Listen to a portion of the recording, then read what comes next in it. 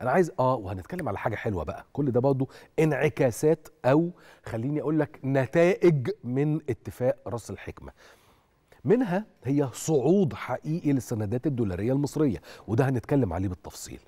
هنا أنا عايز أتكلم مع حضرتك إذا أذنت لي سيدي المواطن سيدتي المواطنة بالراحة حبتين. في ناس هتفضل طول الوقت عارف أنت كلمة الرضا لمن يرضى؟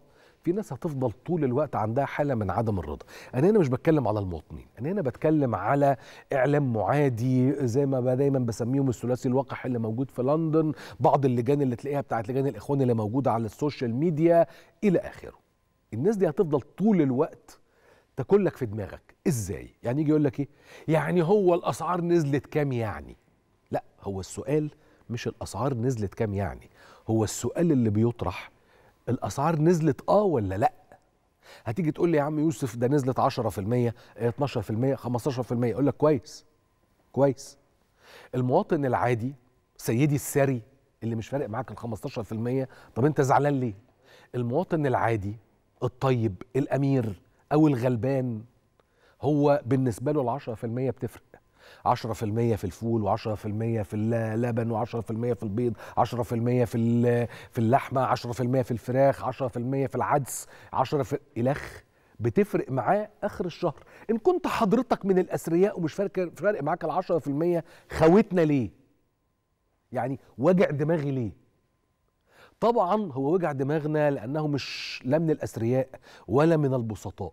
هو من لجان الإخوان هذه اللجان الحقيرة اللي قاعدة عمالة تلعب في دماغ الناس علشان تحسسك إنه ولا كأن في حاجة جرت.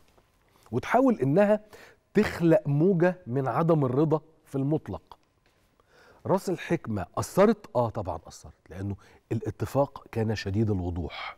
الجدول الزمني بتاع التدفقات المالية شديدة الوضوح. الدكتور مصطفى مدبولي قال بمنتهى الوضوح والجلاء الجدول الزمني بتاع صرف الفلوس.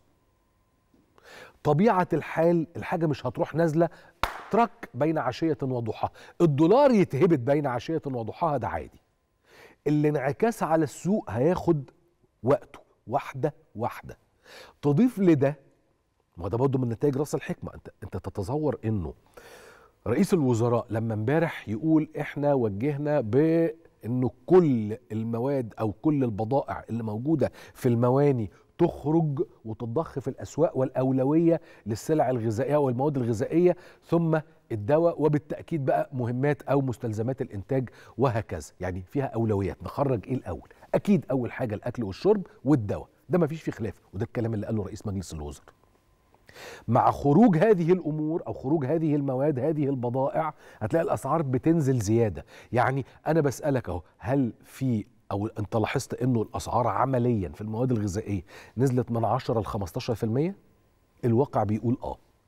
سعر الزيت في بعض الأنواع نزل سعر الفول في بعض الأنواع نزل بتكلم على الفول البلدي كمان يعني تحديدا سعر العدس نزل سعر الذرة نزل في حاجات أنت مالكش دعوة بيها بتهم المزارعين والمربين وما إلى ذلك زي سعر فول الصويا وبالتأكيد الذرة الشماء أو الذرة الصفراء مثلا يعني سعر اللحوم بدأ ينزل سعر الدواجن بدأ ينزل ده اللي بيهم الناس الأسر البيوت ده اللي بيهم الناس. هينزل تاني؟ إن شاء الله هينزل تاني وإن شاء الله ينزل تالت. بص طول ما في انخفاضات متوالية في سعر الدولار وسيبك من إنه السوق السوداء بتنازع. يعني أنت أنا عارف إنه تلات أرباع الناس منزلة ال application إياه وكل شوية تعمل update وتشوف. طيب سيبك من السعر ده عشان مش حقيقي. ال application ده اللي عامله بتوع السوق السوداء. وقاعدين بينازعوا. يعني هو قاعد عمال إيه في حالة شد وجذب إيه مع الدولة. اللي هو إيه؟ أنتوا بتقولوا السعر نزل طب إحنا هنحط سعر أعلى من اللي أنتوا بتقولوا عليه. لو افترضنا مثلا إنه السعر 48 ولا 47 ولا زي ما يطلع هيجي يقول لك لأ.